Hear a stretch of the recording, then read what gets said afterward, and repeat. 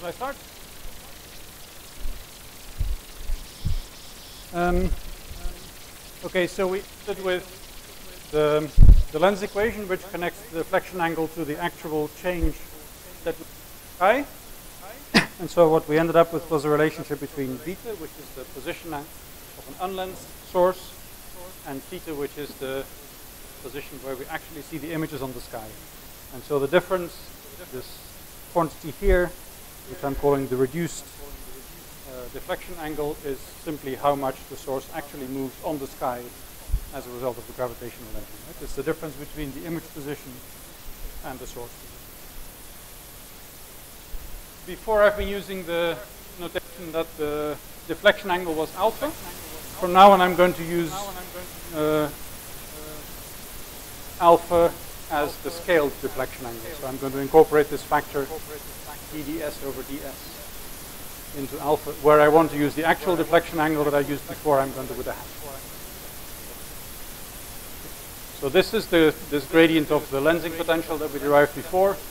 That gives you the angle. If you multiply by 4 over c squared, that's now the actual deflection angle, alpha hat.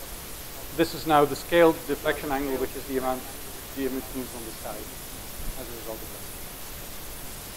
So our lensing equation is now about as simple as you can get it. Beta is theta minus alpha. And all the information is in the dependence of this deflection, the scale deflection, position on the sky. And that's what gives you all the richness, all the uh, all the behavior that you can get. And of course the other thing we saw is how to turn the surface mass density of your lens into the lensing potential, which defines your deflection angle which defines your scale deflection. Right? Is this microphone working? Um, so now let's look at, um, uh, at a special case which is quite common, which is the axisymmetric lensing case.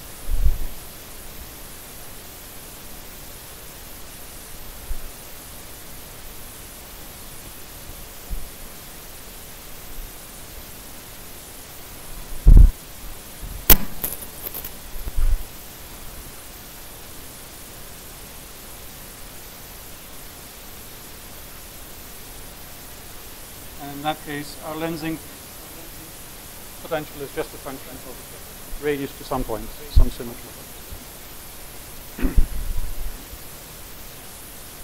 and as before, we have the relation between the surface mass density and the potential, and we can now uh, use the symmetry that we have and apply the divergence theorem over some disk. So we take some disk on the sky of radius r. The potential is symmetric about r, so all the gradients and all the deflection angles are radial.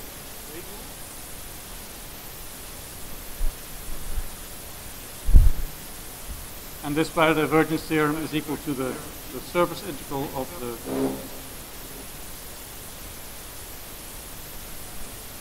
uh, of the radial gradient outwards around this volume. So as a volume we take this disk of radius r, so integrate over this entire disk, and that's equal to the circumference, the integral along the circumference of that same disk of radius And so this here by the, the, the Poisson theorem that we have is equal to 2 pi g. Times the surface density over that disk. And the right hand side is by symmetry equal to simply the circumference of the disk times the radial gradient.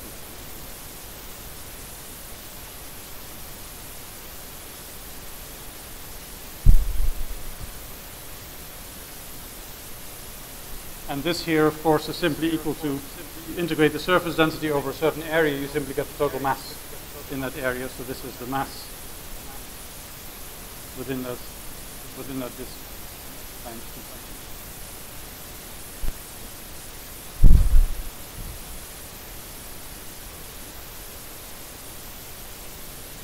and this radial gradient of the potential we know as well, it's equal to fraction angle here. It's c squared over 4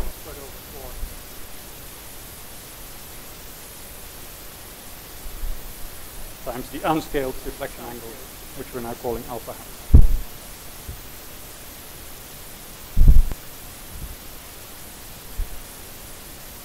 So therefore we can relate to the deflection angle to the enclosed mass for the case of an axisymmetric lens. And so we can write, for example, um,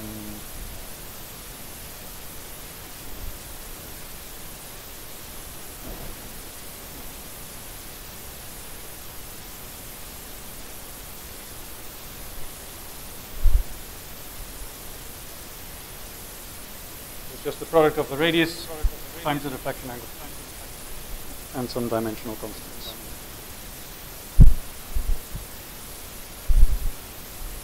Now, this is where we can define this critical surface density that we talked about briefly at the beginning, and that's by considering what we call an Einstein ring. An Einstein ring is a situation where if you're looking at a source, this is us looking at the source, that the deflection angle is just, this is the lens here, the deflection angle is just so that a source exactly behind the lens is seen again by us in all directions. So this is true in all directions by symmetry, so this forms a kind of ring-shaped image on the sky around the position where the source is. So this is what we call an Einstein ring. The deflection angle here is just right send it back to us. And so you can only get the situation when you have the perfect symmetry that is exactly in front of the source and that the lens is axis.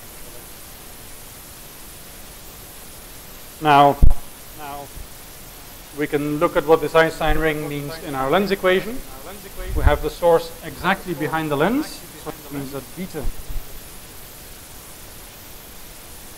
zero, source position is exactly at the origin, and therefore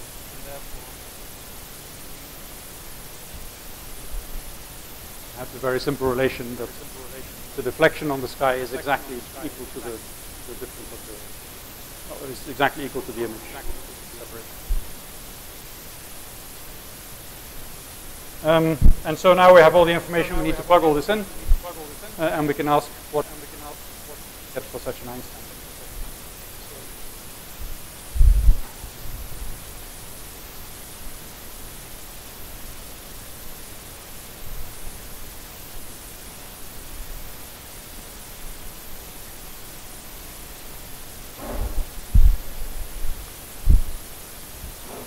Um, so theta is equal to r over the distance to the deflector. This r is the, the, physical distance to the lens here, the distance to the deflector.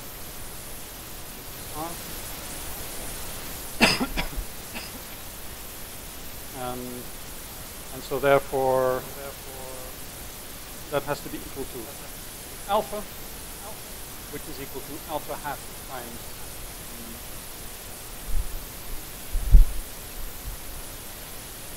ds over s.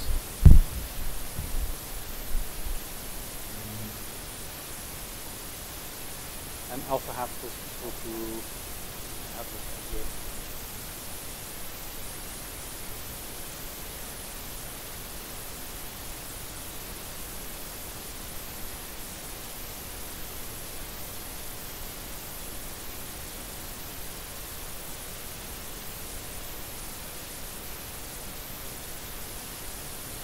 combine these two relations, you find that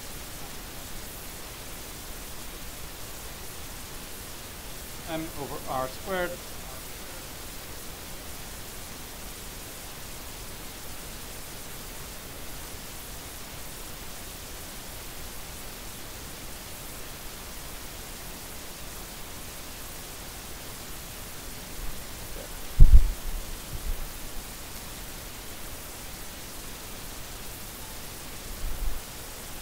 Did I do this right? Did I do this right? No.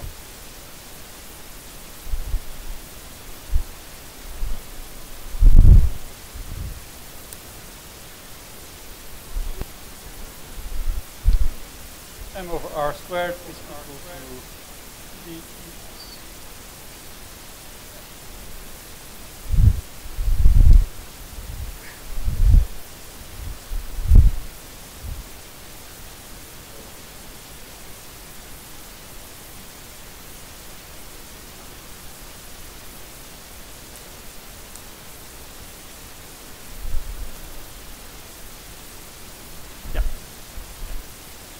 So if we now divide both sides by pi, then you find that this is equal to the average surface density within radius r,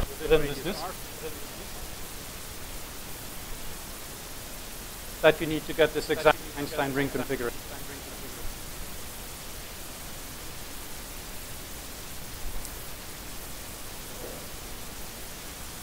And this is what we call, what we call the critical surface density for lensing. So if you have an area of the sky where the average surface density is exactly equal to this value here, then that's exactly the condition that you will need to get a ring, an Einstein ring, a lens ring of a point source exactly angular.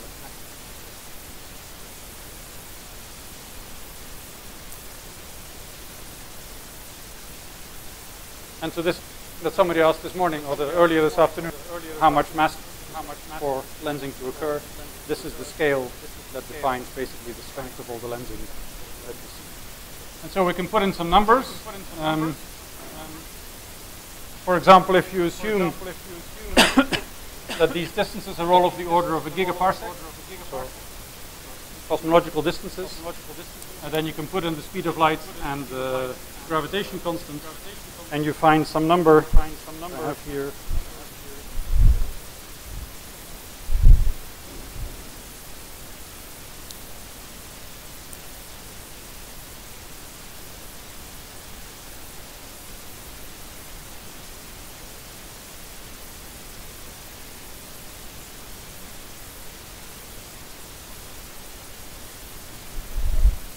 You get of the order of a little more than a thousand solar masses per square parsec as the kind of surface density you need for lensing at a distance of something like a gigaparsec. But notice it depends on, on these three distances. It depends on whether the lens is, is where, how far away the source is, how far the lens is, and, and uh, ratio between those two. The lower this number is, the lower the critical density is, the stronger uh, the lensing effect will be.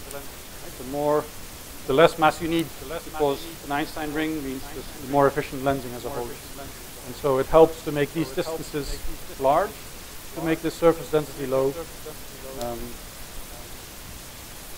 simply because that's the, the way to, you can think about it, it means that the, the gravity has to do less work, you need less of a deflection angle to get the same, uh, the same pattern.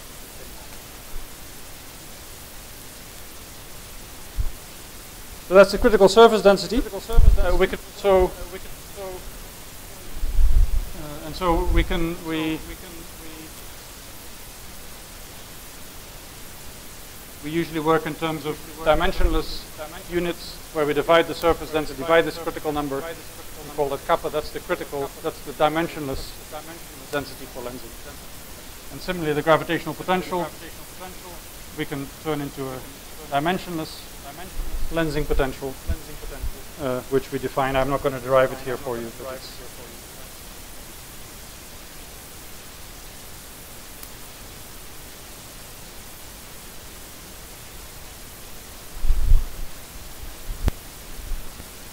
that's the dimensionless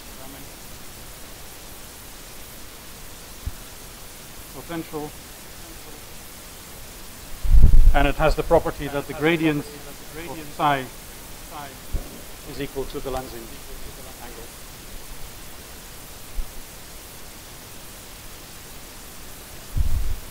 And the other thing you can show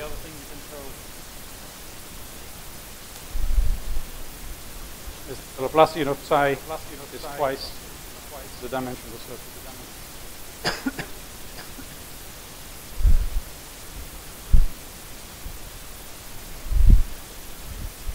So in a sense, there's nothing profound in here. This is simply taking the dimensions out of the problem and simplifying, simplifying, simplifying, so that now we also have uh,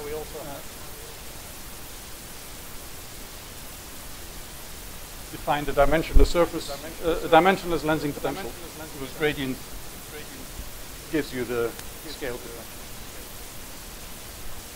And all these dimensions are encoded in this critical density and this number, which is basically the critical density times uh, one of the distances squared.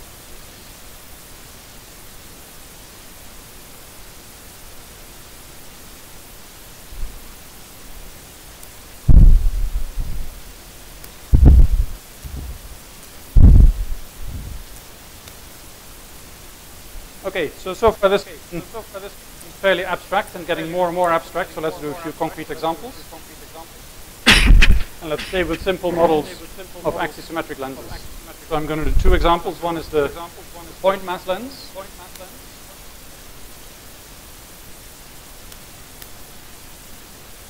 And then the second one will be the what's called the singular isothermal lens, which is a model for uh, for galaxies.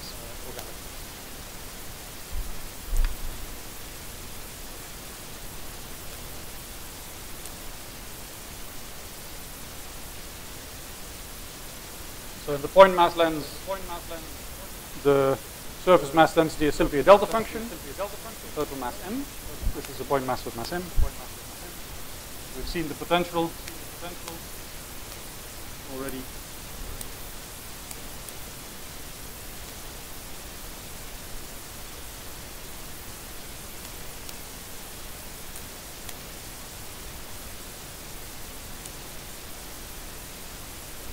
Simply the logarithmic, um, the logarithm, natural logarithm of the, of the radius. And so therefore we can use all the information we have and get our deflection angle, which is equal to 4 over c squared times the gradient of this.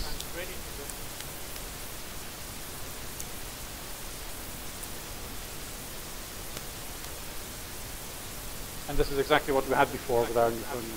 The first calculation we did this afternoon was the deflection angle due to a point mass, and that's exactly So you see that now we have all the now that we have all this formalism in place, these calculations are a lot quicker.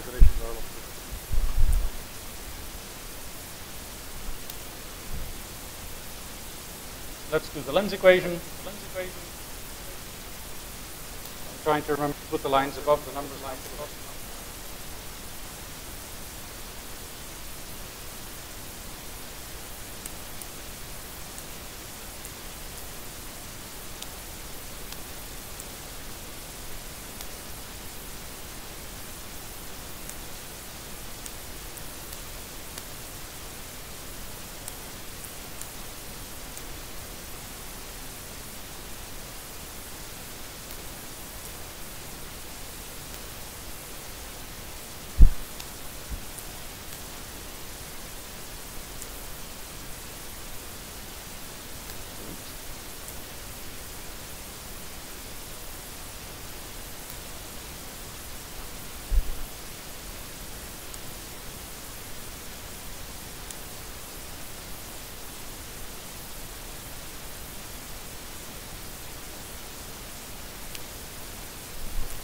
So I've replaced r again by dd times theta.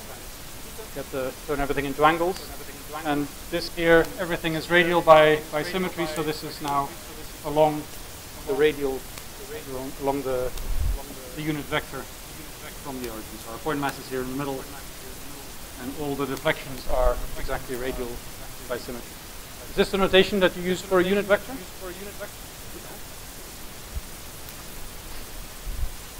Okay.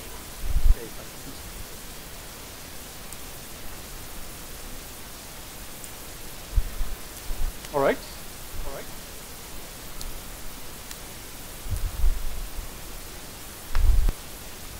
We can rewrite this as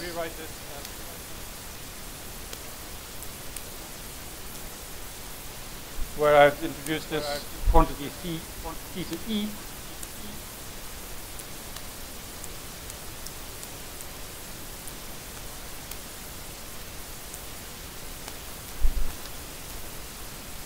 which we call the Einstein angle for reasons that you will see in a little while.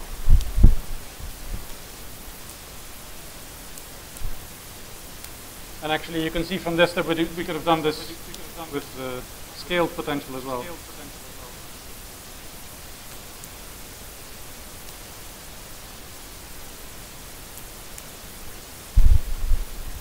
The scale potential, if you take its gradient with respect to theta, should give you this deflection angle, so theta e squared times the log of theta. So comes to the same. And so this theta e squared is some measurement of some measure of the, the strength of the lens, and it's not surprising that it scales with the mass. It's kind of what you expect. So that's our lens equation now.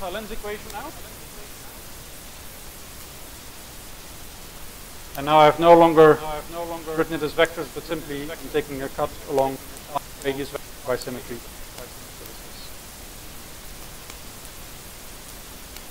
This is now just a relation between the, the amplitudes, between the sizes of these vectors. Taking some random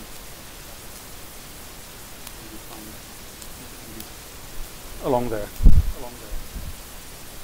Okay, so what does this look like? So this means, in principle, you can solve this, right? If I give you a source position, you can solve this equation for theta, and that will tell you where the images are.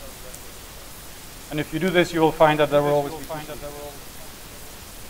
point lens always gives you two images for every given source. solve this graphically, which is more useful because of, what it shows. With, we plot beta versus theta.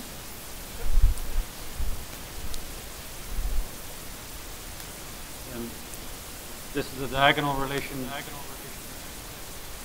where the two angles are equal. At large radius, at large theta, this term will become very small, and so you'll asymptote to this curve.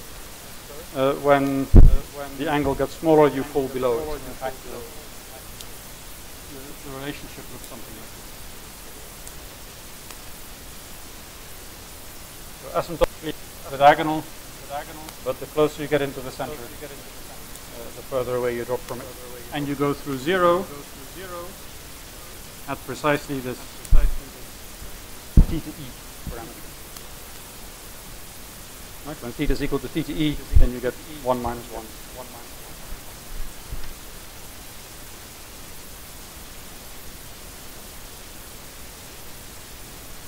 So the way to read these diagrams, so remember beta is the source position, the unlensed position, theta is the image position, and so the way to read these diagrams is to say I have a source at a particular position.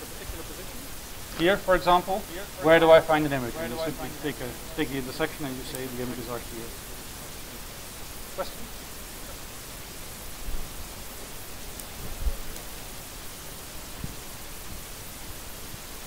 Probably because I forgot. Here? Here? Yes, let's put it in. Thank you. I could also do the thing of saying C is equal to 1, but that's equal to 1. Okay. It's always very difficult when you're standing close to the board. I'm glad that you're helping. So, so when you, so when you have a source at a particular position here, then you see that there are actually two images. One of the images is going to be very close to uh, to where the source is. It's very close to the diagonal, but there's another image actually on the other side at negative. So if we draw this, let's say that I have a then what this equation tells me, what this, this graph tells me is that there's one image Right, it's at a slightly larger theta than uh, the theta equal. But there's another one, which is inside this uh, radius of theta e uh, and fairly close to the center, somewhere here. If I had a different source which is further away, further away here, then the deflection would be smaller, so the image would be almost at the same place as the, as the source. And this other image would be even closer to the center. I took another Another case further up here, you'd be even closer to the diagonal here and even closer to here. So this is a way of graphically showing the relationship between theta and beta.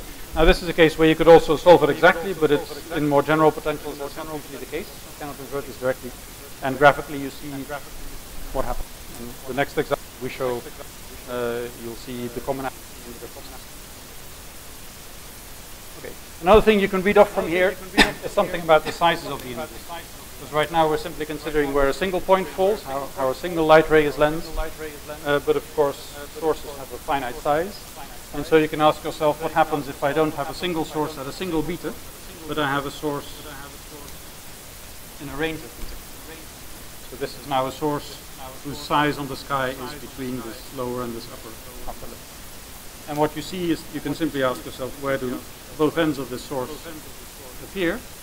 And you see that here the slope is almost 1 of this line. We're very close to the diagonal. That means that the image that you find is going to be almost as big as the source, right? This extent here is going to be about the same as this extent here. So this image is not very much magnified. But this image here, this is here things are very steep, and so even though you have quite a large range in beta, that projects into a very small range, in other words, a very small range of images. So this image here this one here is going to be a lot smaller. The size, extent in beta is much larger than the extent in theta. The source was much larger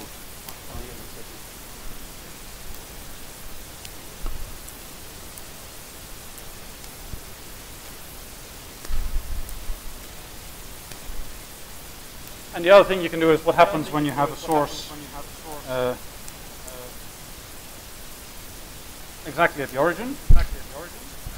So a source here at the origin is this line here, and you find two images at plus and minus theta. So that's you have the source right in the middle, right behind the lens. Then you find that you have images here and here, and in fact by symmetry also at all other angles. So you will make this ring. So that's where you get the Einstein ring when is equal to zero. And then to the other side, you basically the other side the inverse relation. So in it, you don't need this part of the diagram to understand that.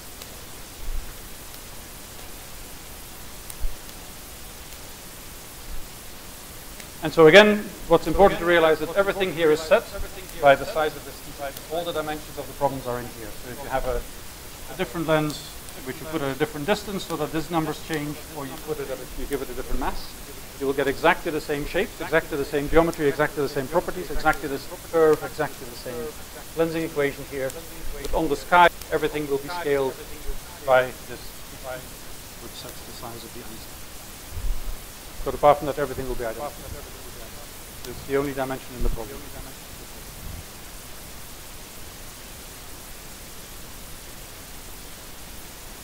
Questions about this? So when we come to talk about microlensing, which is lensing by point objects in our own galaxy, then this point lens is going to be basically all we talk about. The double point, as much as we will talk about. And this, this Einstein ring uh, radius will come back finally. So that's the point mass. And now let's compare that with a case where we don't have a, uh, a single single star or a single point mass as a lens, but where we have a, an extended object like the canvas.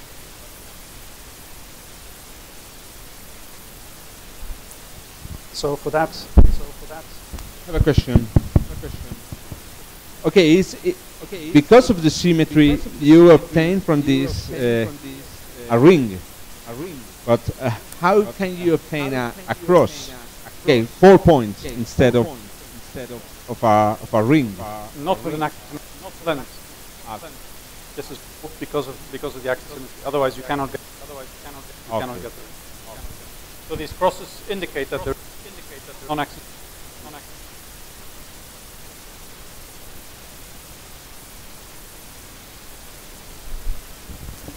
Uh, and on the other hand, you have here just the position of the of the images, but not the amount of, of light coming from from each image, right? So this is another completely different problem. That's it's of course it's all of this because it, it's governed by how much each of the different parts of the source are, are left. And we'll come to that later today, I hope. But, uh, it, it's sort of related to the gradient of this curve. The gradient of this curve tells you that this source is going to be much smaller and therefore we get many fewer light rays from it Light rays in this image. So this, this image will be a lot fainter than this image. Okay, so example two was a galaxy. Galaxy.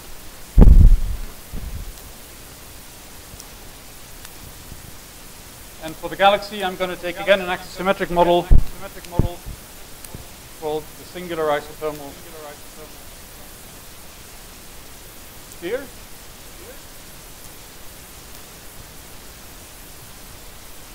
And the singular isothermal sphere is a density distribution which goes like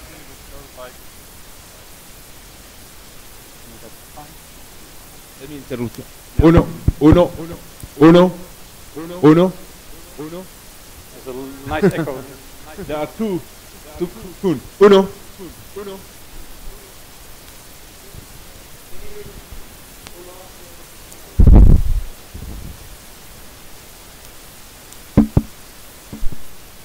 Uno, uno, uno, uno.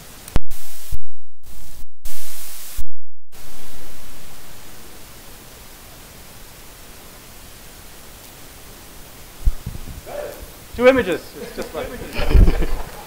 May- Can you see me double as well, or just hear me?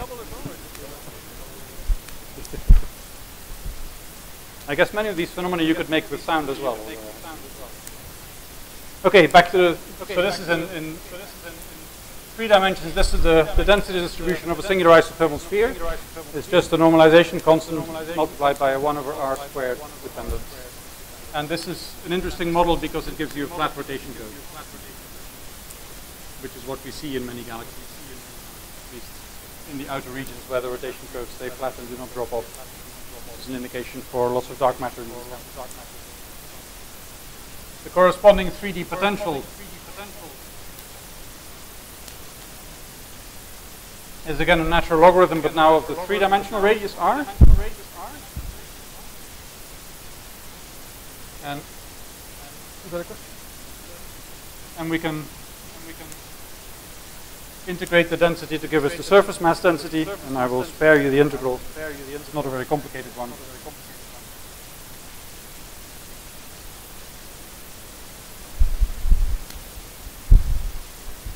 So the surface mass density goes like 1 over r, 1 over the projected radius.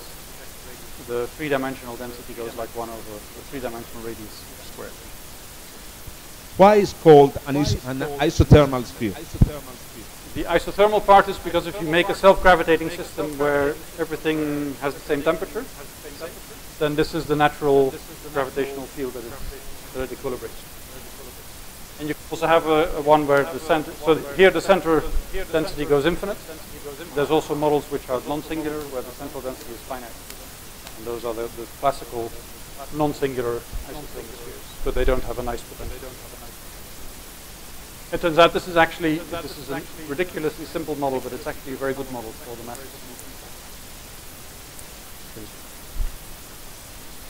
Okay. Uh, so if this is the surface mass density, then uh, just again write down.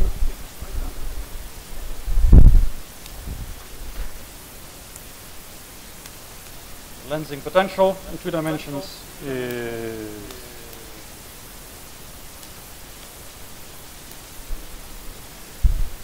and so the deflection angle.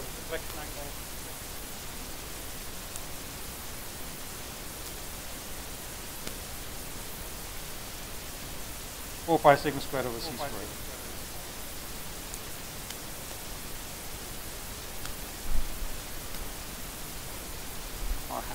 So, this potential has the property that the deflection angle always has the same magnitude. Of course, it has different direction. It always points radially, but it's everywhere the same. Everywhere. You can see that the potential goes like r, so the gradient is constant.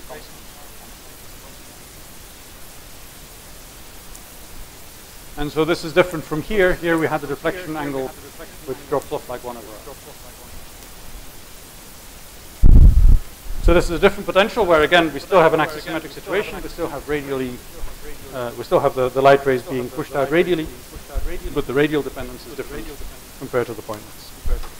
So we can again draw the, the lensing equation. Oh, we can do the scale deflection angle first.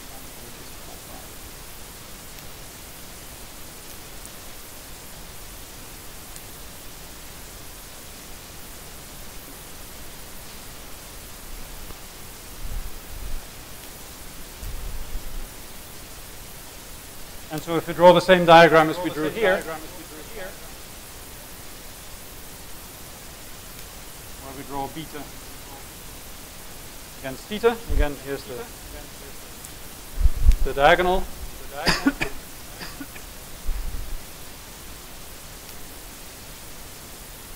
I'm going to call this constant angle theta e again. Is going to turn out to be the Einstein angle. And so what we see is that theta is beta minus alpha. Again, no vectors because everything is in the, in the same direction along the radius. So we simply see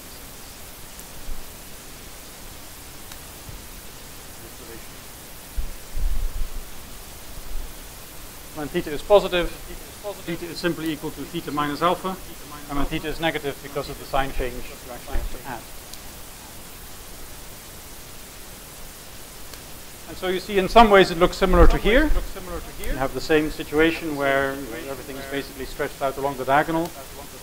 Things happen near the origin, but apart from that the, the details are different. And again here I should have said that the position where beta is equal to zero happens at theta equals plus or minus theta e. Again, this is the size of the Einstein ring. This is where the images of the source be precisely behind the lens. And so here again, you can play the same game as before. You can pick a source position, and you can ask yourself, where will I see images? If I pick a source position here, an image here, and an image here. You see that here the images are always same distance apart. They're always exactly 2 theta e apart. Again, the Einstein radius here, if I have a source at this position, for example, then I will have one source. And I have one image here, which is exactly theta e outwards, and I have another image here, which is exactly theta e in the other direction. But you notice that when I have an image here, Unlike in the point mass case where I will always find two solutions here, I suddenly only get one solution. There's no solution on this side anymore. I simply get a solution. So if I have a source which lies outside the Einstein radius, then the only image I have is an image which is a direct, which is a an amount theta e further out, but I don't have an image. So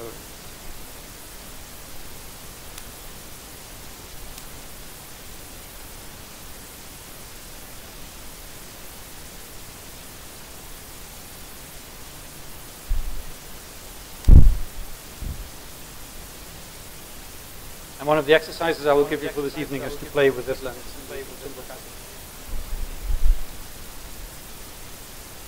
Now the, now the both of these cases are, are, kind of unusual because they have singularities in them. At the origin, something something bad happens. If you make a general lens model in which the, the density doesn't go to infinity in the middle and the potential doesn't have a, a singularity, then you will find things which at large radii basically behave the same way. Because at large radii you don't really care too much about what happens in the middle, but it will, different color, it will change the behavior in the central regions into something that's mathematically more smooth. So it might be something like this.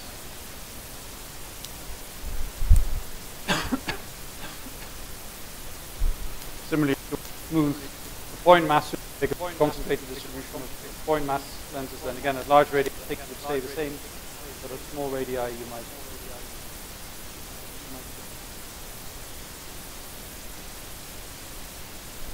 smooth things out, these singularities. And you see that that changes a few things in important ways. It still keeps the Einstein lens, it still keeps the Einstein radius, right? You still have two images for, uh, for beta equals zero. but you will find that there is always a maximum beta, rather a minimum beta, beyond which you do not get multiple images. So now, if you have a smooth curve like this, which doesn't have singularities, then you either cut it in exactly one place, far from the lens, same on the other side, or you would cut it in three places. Same thing here. You either cut it just in one place, or when you go below, between these two peaks, you would cut it in, in three places. And so in a sense, these singular models, the singular isothermal sphere and the point mass, have kind of lost this central, this third solution in the singularity somewhere. As soon as you remove the singularity, you will always end up with the third solution. It's the general properties of lenses that they always produce an odd number of images. So if you have an even number of images, that means that you've swallowed something in the singularity somewhere. And the reason is that at large radii, the behavior is basically fixed. At large radii, you have to come back to theta equals beta because the deflection angle goes, go, goes down to zero, goes back to zero. And so in the middle, whenever you cut such a curve, uh, you either cut it once, or the curve has folded once, or the curve has folded twice, or three times. Each of those gives you two extra crossing points. So there's a lot of, I'm not going to go into it in this course, but there's a lot of interesting topology and catastrophe theory associated with classifying the solutions of this, lens And that's really because it's, it's simply a, a, a remapping of, of two-dimensional sky through some mathematical function. As long as you don't have any singularities in there, you of course you, you know, you have all these topological constraints.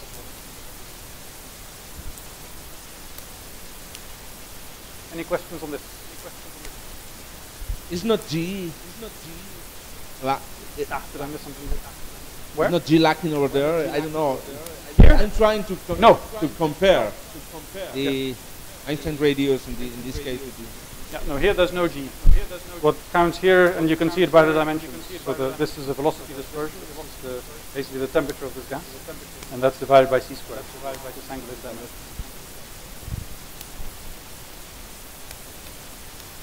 So in this case, the, the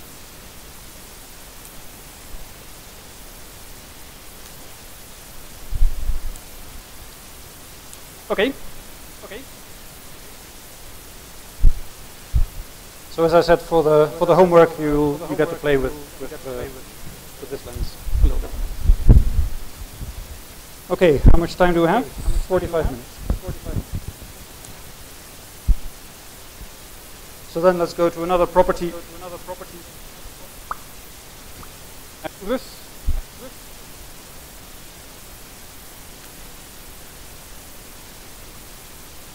And that's the curves that I showed you before in the, in the slides.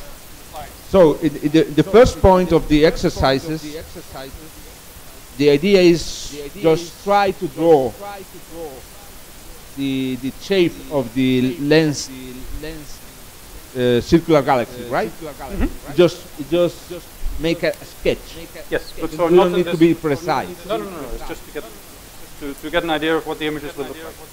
And in fact, what I will do tomorrow is I will give you a lot of choice, and I will ask you which one looks most like the, the real answer.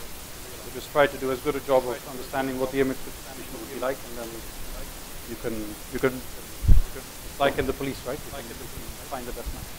So does that mean we're going to be going over the homework problems in class? In class? Uh, I will. Once you've done the test, I will briefly go through the. Oh, okay. Thank you. Oh, okay. But I can't do it in much detail because there isn't that much time. Um, um, but so the point is that so the point is that you have to solve the lensing equation to do this. But this is really a one-dimensional representation. It's important to realize what this means on the sky All right. So then let's go to the. Uh, I think the almost the final piece of, of, mathematics that we have to do to set the scene, the, the fundamentals for lensing, and that's to go to this critical curve.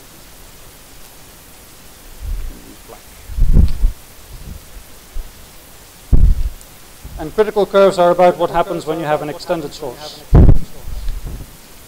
So this is related to the question about magnification, whether all the images are equally large and equally bright.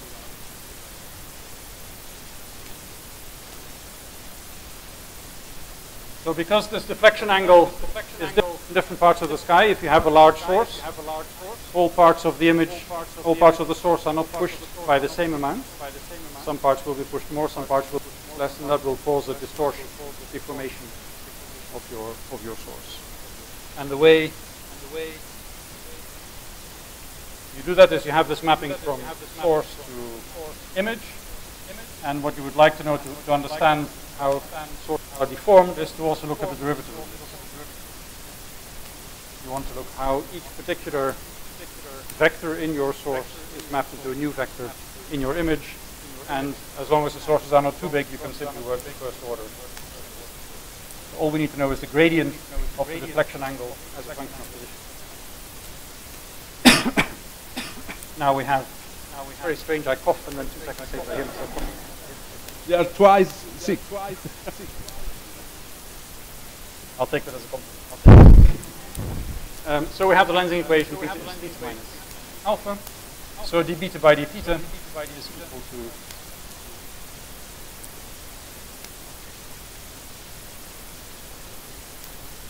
right? Right.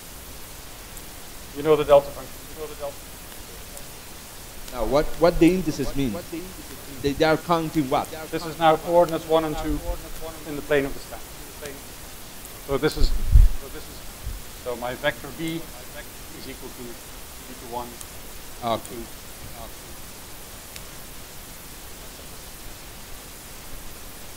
Right, so I need to know how, how a little segment in the x direction is affected by the lensing, how a little segment in the y direction is affected by the lensing. So I need to do all the four combinations.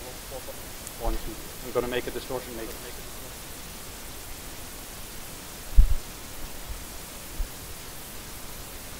And because we know the deflection angle depends on the deflection potential, we can write this as uh,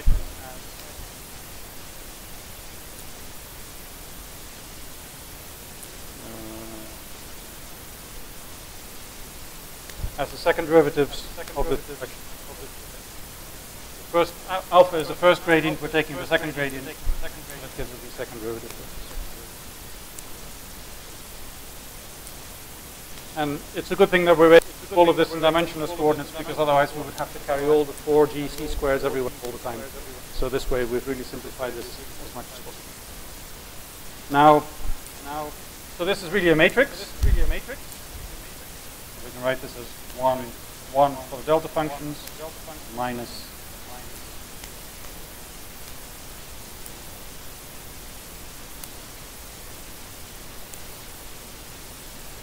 Or I'm using this common notation instead of the second. Is that okay? Um, so that's it. If I know the potential varies with position, first gradient gives me the deflection angle, the second gradient gives me the rate of change of the deflection angle. This is really all I need to know how this angle in the plane is changed into rectangle in the, in the image. So the, to clarify the notation, this C comma 1 1 means derivative. Uh,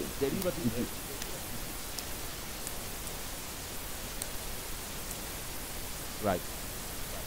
This is a comma. It's a comma. Yeah, I'm sorry, it's not very really. It's just I go crazy if I have to keep on writing it like this. So there's going to be many more. Sometimes actually I drop the comma as well. I drop the comma. I one one. We can, this is interesting as well.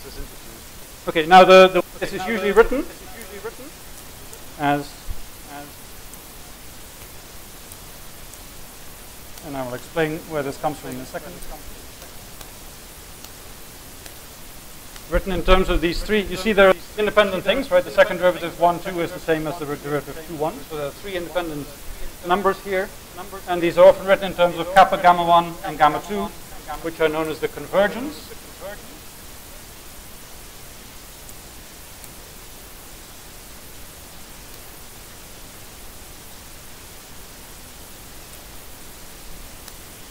And the shear components.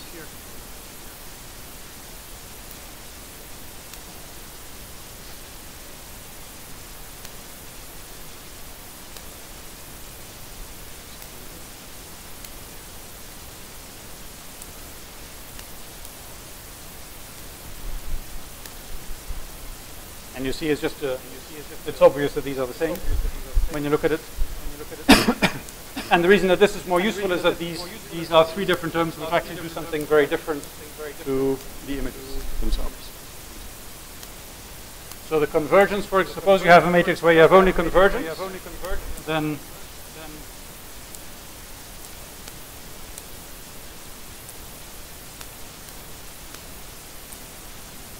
then you find that a little vector dx dy by this transformation gets turned into the same vector but multiplied by constant 1 minus gamma. So this simply for all scales the size of your image.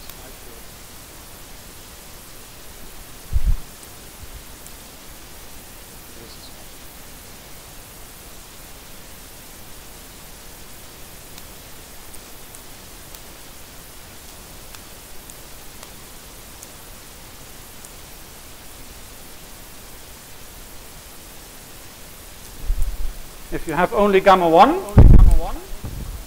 then what you see is that the x is multiplied by 1 minus gamma 1, and the y is multiplied by 1 plus gamma 1. In other words, you get a stretching. So here, you have a, a round source. It gets turned into a round source of a different size. Here, if you have a round source, it gets turned into a stretched source. It gets size increased in x and decreased in y, or vice versa. And if you have gamma 2, that's actually a little bit more complicated, so I'm not going to write the answer, but I'm going to draw the, the effect. The effect is the same stretching, but along the diagonal. And actually the way, the easiest way to write what happens to gamma, what, gamma 2 does is to say what it does to dx plus dy and dx minus dy. And it turns one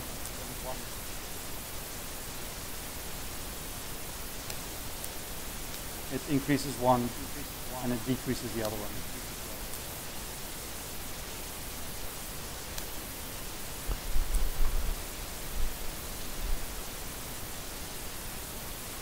So these are, you like, these are completely gener general affirmations that you can get uh, when you look at any linear mapping and expand it to the to first order, right? This is all you can do. Simply turn, uh, simply change the size or change the form, change the shape, and this decomposes them into three different effects: convergence and shear along the axes or shear along the diagonals.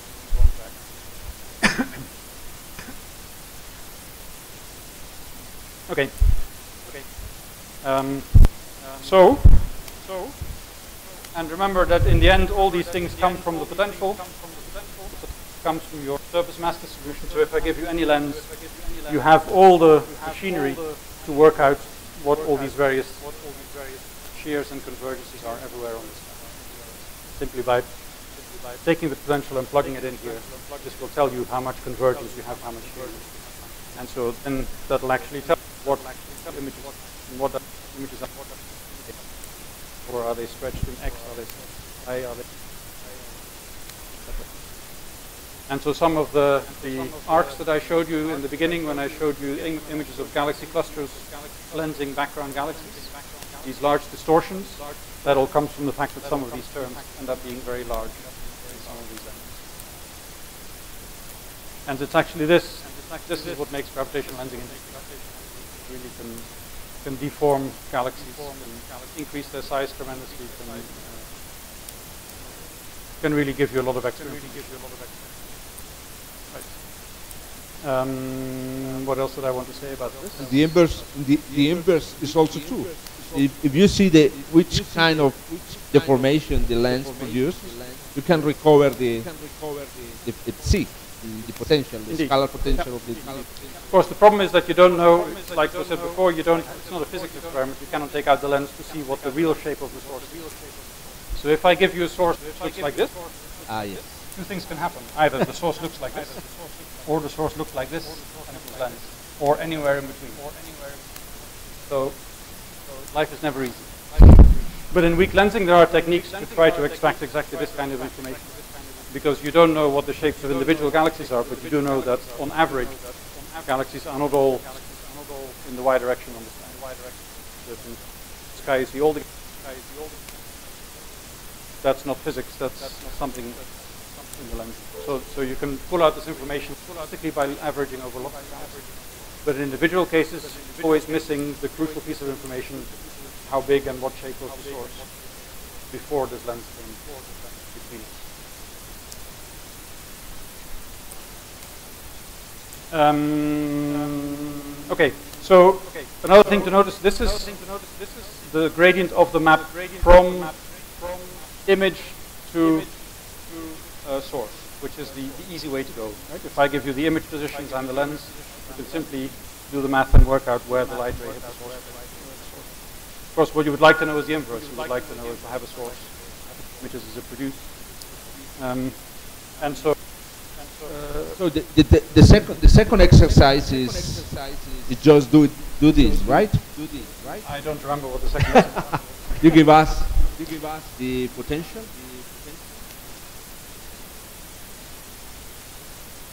Uh, you can do it that way. You can also do it. Yeah. So you give us the pot the potential and potential and give you the potential, and that's enough to work out the deflection angles everywhere. And in principle, that's enough. But once you've done this, you can actually see whether there is shear or.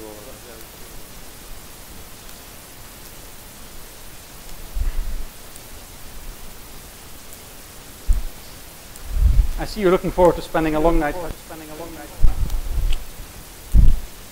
Um, um, yes. So yes. So? Now what happens? Uh, is this mapping invertible or not?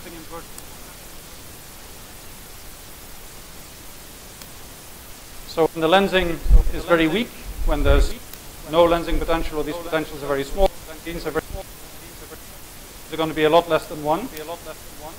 Basically, this matrix is going to be very close to a diagonal matrix with ones on the diagonal. So this is not a singular matrix. matrix. It's a very mild distortion, but it's not going to cause any. Perfectly invertible.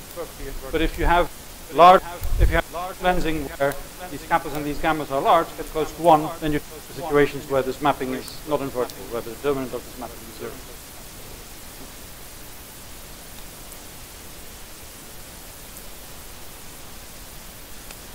if the determinant of this mapping of this mapping this mapping is not invertible, that means that go from the source position to the lens position and get a unique answer.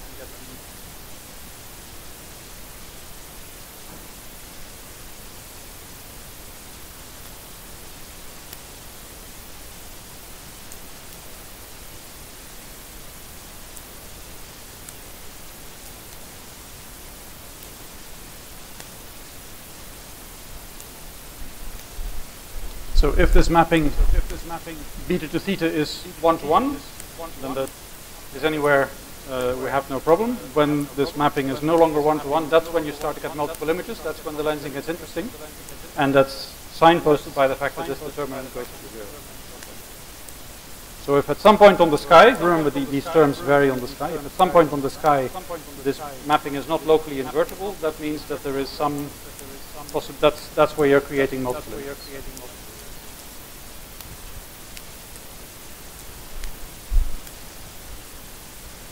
So is that clear? This important point. So this ma this matrix is multiplying what? The dx, dx, dx dy yeah. vector. It's multiplying source vectors to give you image. So to give you just image just uh, differentials. Mm -hmm. Yeah, it's a local, yeah, the local transformation. Yeah. So the whole mapping can move. I mean, everything can be moved by five degrees on the sky. It doesn't matter. It's the relative motion, The relative which is what you capture in these in these second derivative in these derivatives of the derivative. Now, so if we if we use, we we use this matrix to solve the rolling two.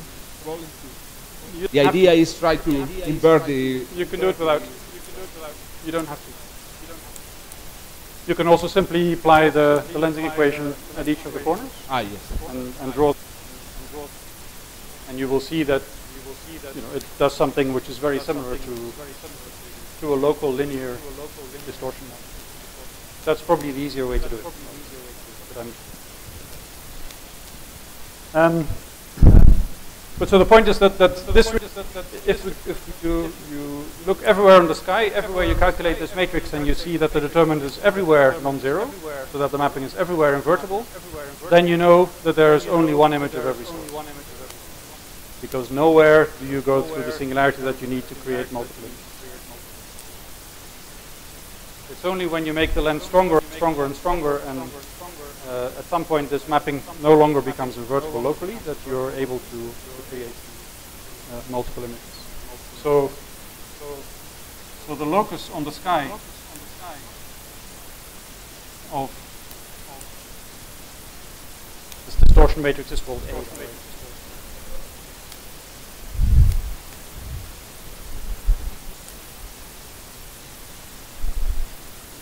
That's called a critical curve. That's called a critical curve.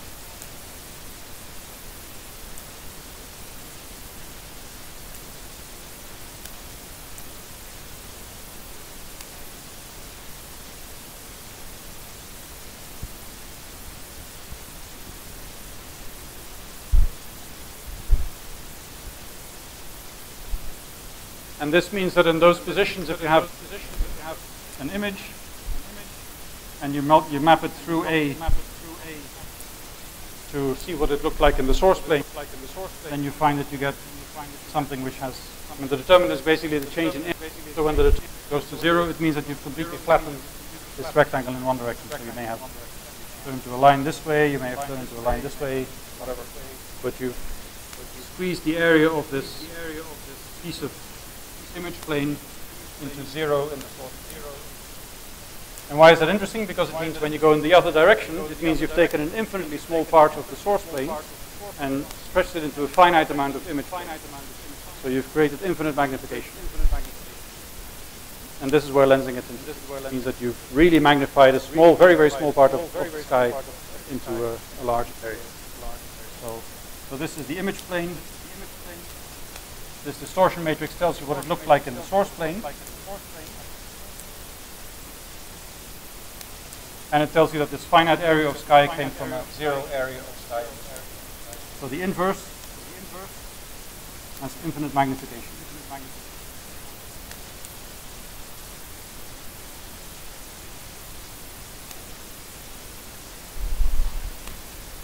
And that's why these critical curves are very interesting. If you understand your lens and you know where these critical curves lie, then this is the part of the sky where you will have, where your gravitational telescope will be extremely effective, where you'll be magnifying greatly the sources that lie behind. and so in the, some of the diagrams that I showed you that you have on the handouts, those red diagrams with, uh, with the colored dots and the, the white curves, those white curves in the left-hand panel, the elliptical curves, those are the critical curves uh, that you get for those particular lenses. I don't know if. Um, so those are the areas, and that's also where you see that the, the images near them are very large.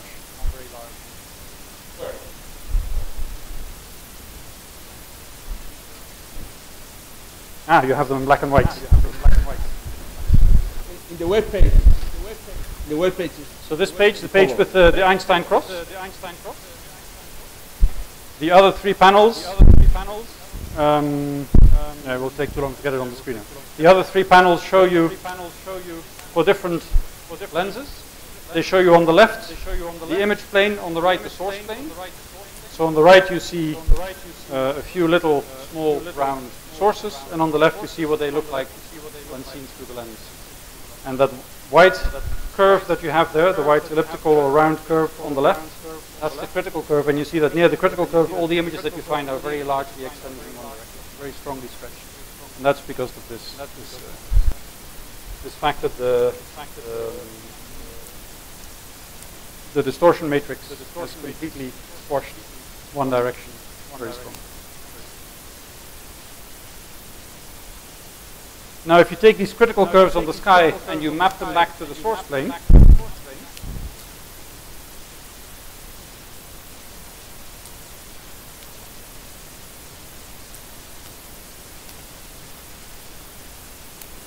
then you get what are called the caustics.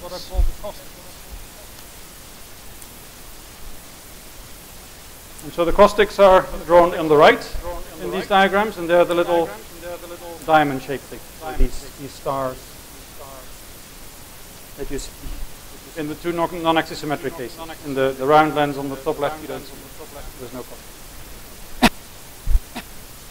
So these are the positions in the source plane where you have to put a source for it to be to end up on the critical curve, and therefore for it to be very, very strongly magnified.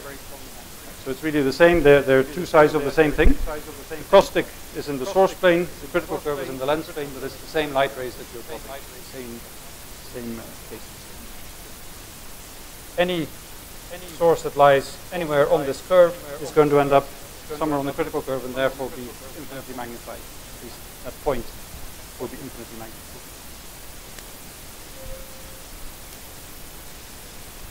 And so when we talk about strong lensing by galaxies tomorrow, then the, uh, these kind of things will become very important. So this is going to come back. So this matrix is, is to go from image to source, right? This matrix goes from image to source because it's, it's the derivative of of the image as a function of sorry of source as a function of image. It goes from image.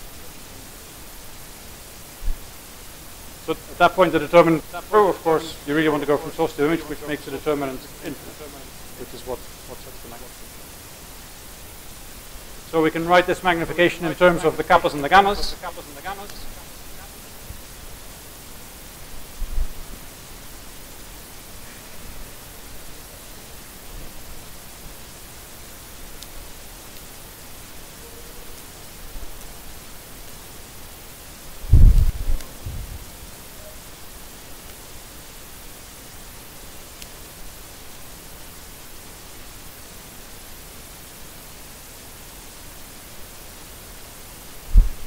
Right? That's the determinant. Cross minus cross.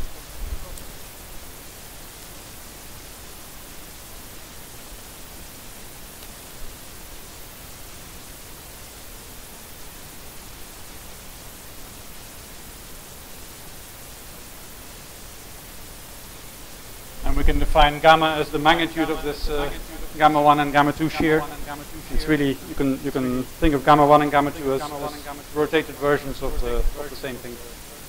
So, so this is the determinant of the distortion matrix. And so this is what has to be equal to zero on the critical curve.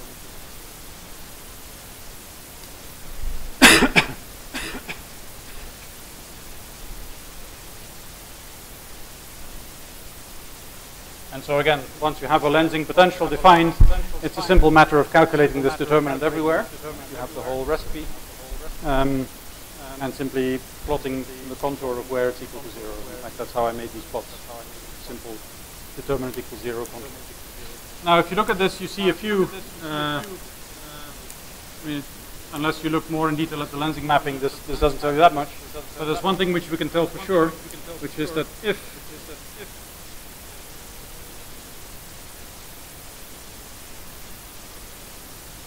if kappa is equal to 1 somewhere on the sky, then the determinant of A is going to be equal to a negative number, at best 0. Right?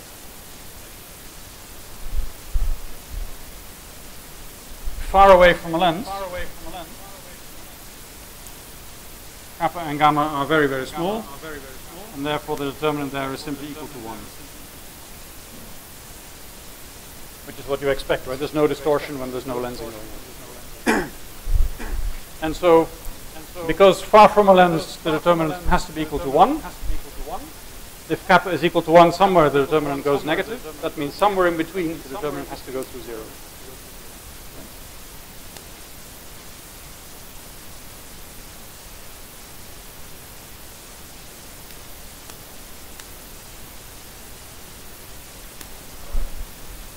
Yep. Yes. It means you change the parity of the image. Which again is not that interesting if you don't know what the image looked like beforehand. But yes, you're right. But so the point I'm trying to make here is different, which is that the, you know, cap, this determinant has to go through zero for this multiple imaging to occur, for the, the lensing to be non-invertible. Um, and we've, we've shown here that if at any, anywhere on the sky kappa is one, then uh, somewhere there must exist a point where this determinant goes exactly to zero. Which is what you need to give multiple images. And now remember what kappa equals 1 means. Kappa is equal to surface density. Ah, I haven't told you that. This is this is the Poissonian. This is del squared psi. And so del squared psi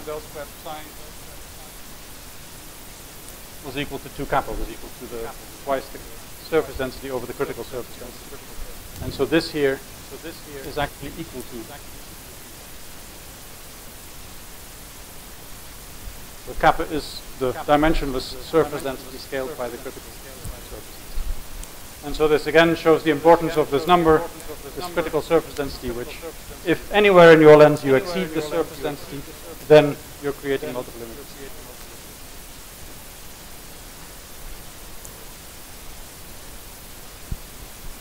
The inverse is to make lenses do multiple imaging without ever going above the critical. But they're always going to have to come close unless you do something very special. You can you can create a lot of shear with not much kappa, and also get a get this determinant to change sign. but this equals one is a is a necess- is a sufficient condition.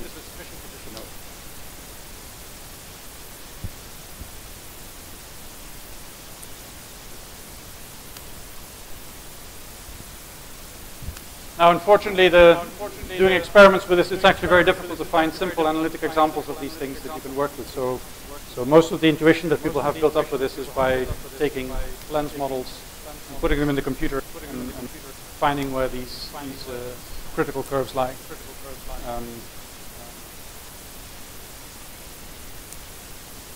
one of the exercises, I think the third exercise I give you tomorrow, to try to calculate not these full critical curves, but at least to, to do a few calculations to, to figure out what the shape of these curves look like. Uh, and again, one of the homework, one tomorrow will be to, to see how.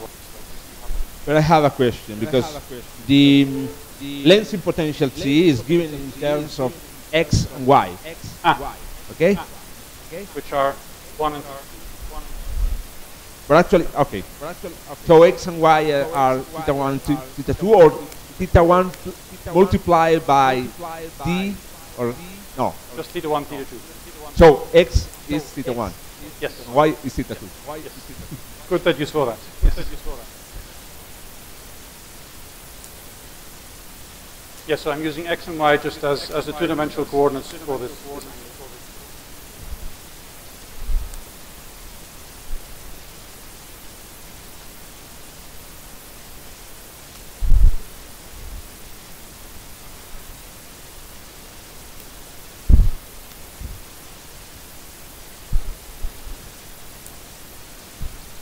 Okay.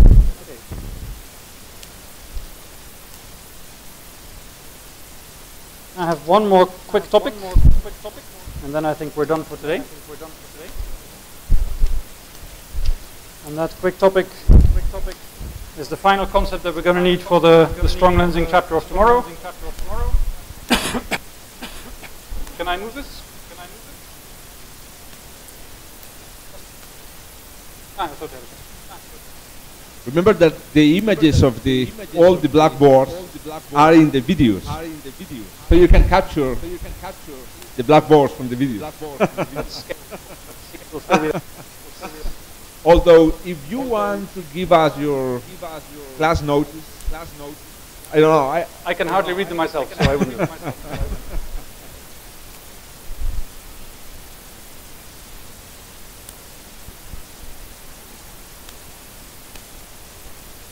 So this finally is something else, something else about the lensing potential. The lensing potential. And that's its relation to something called the something Fermat called the potential. Fermat.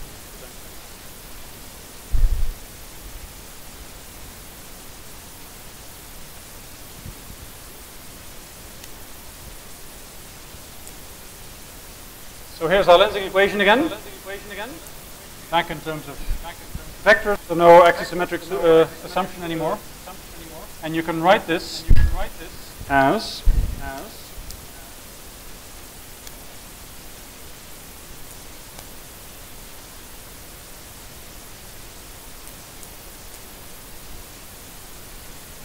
this.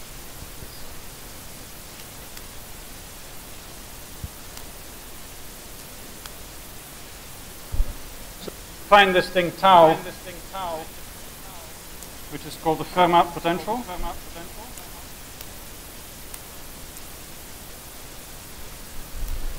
Which is made up of the lensing potential and a purely geometric term, theta minus beta squared. And then if you take the gradient with respect to theta, of potential. All the stationary points of this of this potential give you exactly the solution to the lensing equation. So the stationary points, the stationary points Fermat potential, potential are identically equal to the solutions of the lensing equation. And in some ways, this is the more fundamental way of, of looking at the, what goes on in lensing. because the Fermat potential you can show is equal to the arrival time of the light rays, or the light travel time. The light travel time.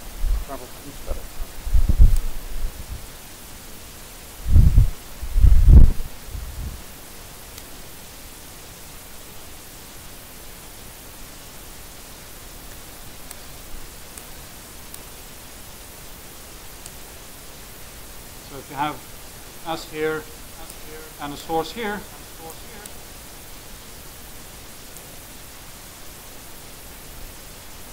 With its unlensed and lensed direction beta, then what this uh, dimensionlessly tells you is how long light rays travel starting at beta and ending up coming from, from theta. And it consists of two points, two, two terms. This theta minus beta is simply the difference in the length of this path with this path that I've drawn it. And there's an extra term here, which is what's known as the Shapiro delay, which is the relativistic effect that in a gravitational field you travel more slowly, or the, the light is delayed, the clock's and so this this Fermat, this, geometric effect with this Shapiro delay, and then it, it's basically like the principle that the, the sources or the images that you find are places where all the nearby light rays arrive roughly at the same time. You have constructive interference between neighboring parts. And so this is a very geometric way of looking at things. This, this uh, is the, you pick your source position and then you get a nice surface in T surface in, in the image plane and that surface will have maxima, will have minima, will have saddle points, will have other points. And so all the images appear at either the maximum or the minimum or the saddle points of this, of this surface. And then if you are changing the potential or moving beta, then you can see how the saddle and maximum minima will move. You can you can have uh, points merge and annihilate and things like this. So it's a very good way of, of seeing the geometry, how image formation really takes place. So C is, re is related to the Shapiro delay. C. According yes. to yes. According to C is is exactly the Shapiro delay. Yeah, up to m squares and things. Very good. Because it's basically, again, it's the integral of the gravitational field along the path. It's the cumulative effect of this time delay. And we're integrating the, the 3D potential through the lens. So it's again a projection So all these things are explained in quite some detail very nicely in, in chapter one, in the first book of the, the ones I put online. Kind of book. Okay, and so for example, if you pick a particular beta, then you see that without a lens, so now you have to, this is where I can show you that I'm not very good at drawing in, in three dimensions. So this is the, the image plane, theta. I've picked a particular beta, so the minimum of this potential is here. And now this is without a potential. If you now add a lensing potential, and that lensing potential is going to form a kind of bump around where your source is. around where your lens is rather, and it's going to create maxima and minima. It's going to make a bump in this. So if there's no lensing, then there's only one stationary point of the surface, which is in the middle. Theta equals theta, right? The source is, the image is where the source is because there's no lensing. When you add a, a lensing potential to this, by adding this thing, then you find that you create a new source position here, sorry, a new image position here, new image position here, and this image moves a little bit to this image. And tomorrow I will show you lots of movies which show this, this kind of uh, Fermat potential in action. but it can be very complicated because your lens can have complicated two-dimensional structure. This thing has two-dimensional structure. So this is actually a very nice way of seeing why you get four image uh, solutions in slightly elliptical lenses. Um, um, we can put the dimensions in here as well, just to be complete. If I can find it. So the arrival time is actually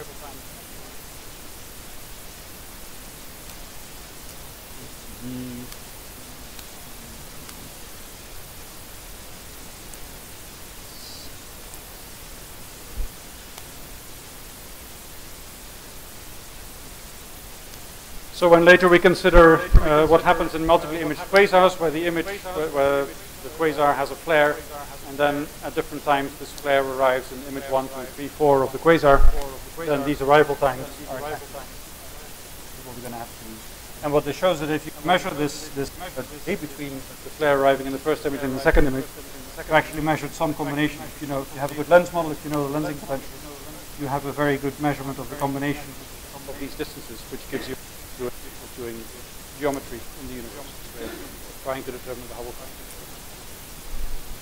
Okay. So that's the Fermat potential.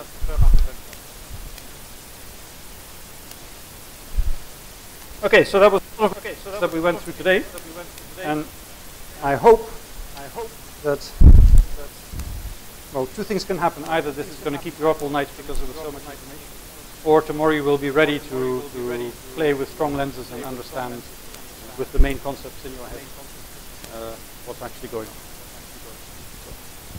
Okay, I'll stop there. The last thing I had is some recommendations for things to read.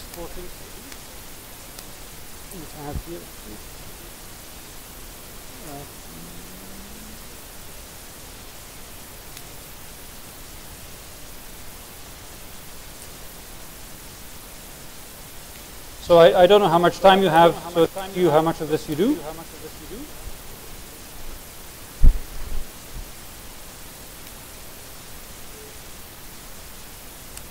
So if you want to see some more of the material of what I described today in the book, then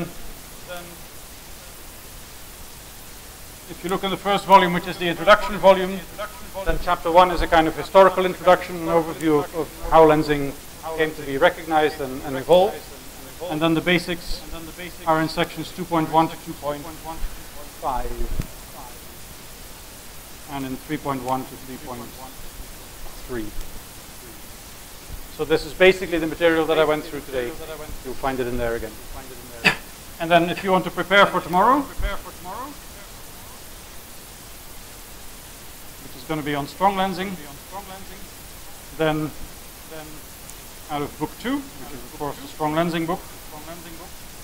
Uh, I suggest that you look at chapters 3.2, 3 and 4.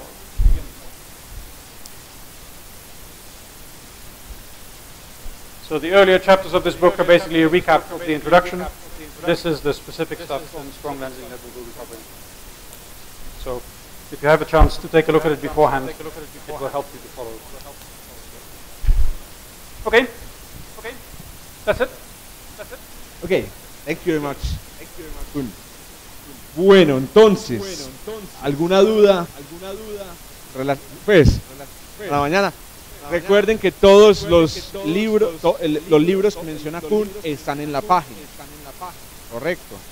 Eh, recuerden que yo be careful, the books are on the website are in a funny order. So just because it's the second one doesn't mean that it's book two. So make sure you look at the right one. Okay, so the, the, the number is inside. The, the, they're not even numbered. So, they're called strong lensing, weak lensing, micro lensing. So, ah, so it should be obvious. So the book one, the book one is Book one is the first one. That's the introduction. That's Yes, actually introduction, the okay. But then the, Book two is Strong Lensing.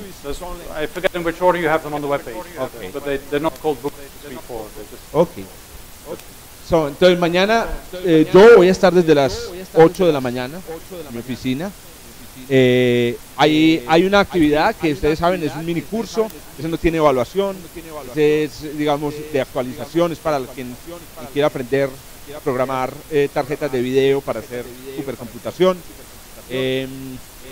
Quien quiera pasar por la oficina eh, entre las 8 y las 12, bienvenido, preguntas para hacer los problemas. I don't, I, I, I don't think so that these guys will pass overnight because they are already have a lot of exams. So, but if you, i- ustedes van, si ustedes van a estar trabajando mañana en la mañana, pasen por la oficina. También va a estar Kuna allá en la oficina. Voy a estar. El punto es el siguiente. Como there is a theorem in in academy that says that every problem looks hard when you see the problem the first time, right? But with time you you get used to the problem and you start to, to see that the problem is not as complicated. Recuerden que el examen es sobre el ejercicio, ¿cierto? De tal manera que hay que hacer el ejercicio para pasar el- la prueba. Los muchachos de astronomía que están eh, asistiendo al curso no están, y digamos, parte de los exámenes vale como exámenes de otros cursos. Por favor, ocúpense. Tengan en cuenta que el examen va a valer por varios exámenes, entonces la cosa es que hay, hay que estudiar. Es una recomendación general para ellos. ¿Alguna otra pregunta? Esta noche les voy a mandar por correo, no sé si han recibido mis correos, un- una encuesta para que ustedes ahí opinen y digan qué cosas podemos cambiar. Miren que son solamente cuatro días, es difícil pues que cuatro días cambiemos, pero ustedes pueden hoy mandarnos una retroalimentación de que, de que puede cambiar, digamos, de, we want to, to have some feedback, because it's hard to ask all of you, you are shy to tell this right here. So you can tell in the inter- uh, at, uh, at the at the at the poll what what do you want to, to change? Um, if you want to change something. I, I don't want to change anything. okay, so nos vemos mañana a la una y a las cuatro otra vez.